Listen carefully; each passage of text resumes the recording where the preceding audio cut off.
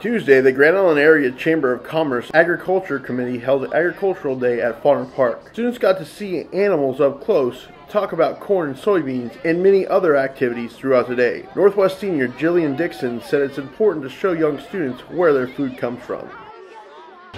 I feel that it's important for our FFA chapter to come out and show the fourth graders about the animals and the livestock because if they don't know where their food comes from, then they're just going to be as ignorant as a lot of other people actually around in this country and they need to know how they're getting fed and how to feed the animals and that a cow is not a goat. They need to know the difference, especially with the different meats and the different ways that it can be used.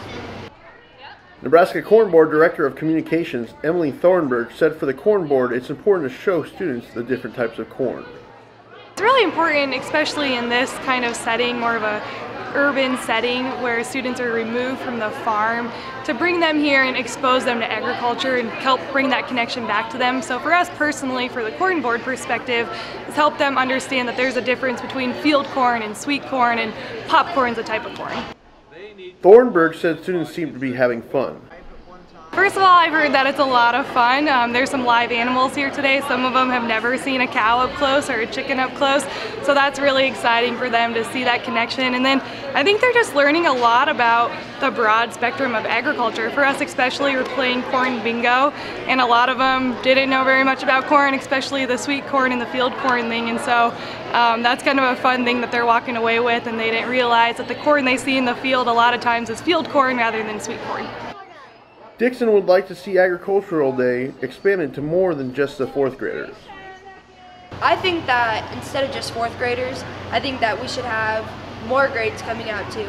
Yeah, it's good for the fourth graders because they're starting to learn about everything, but if you just come and hit it once and then not anymore, whereas it, a lot of people don't have that chance for an ag program as FFA is the only only uh, FFA chapter in Grand Island. So we have a very good community and we need to teach about agriculture because Nebraska is a huge agricultural state and if we lose that, we're nothing.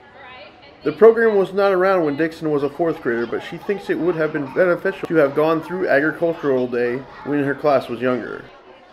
I feel like a lot more of us would be into the agriculture instead of agriculture lacking a bunch of people like ag teachers, different stuff like that. I feel like a lot more of us would be into this field because yes, baby animals are cute, but you, I think it's fun when you get to watch them grow.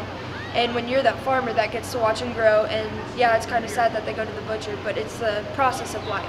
So I think as my grade, if we would have came through here, then I think we would have a lot more vets, a lot more agricultural related people, and I feel we do have a very strong tie to our uh, Hall County Fair, and I feel like we would have a lot more people showing. We're kind of dwindling in numbers, but the people that do it love what they do.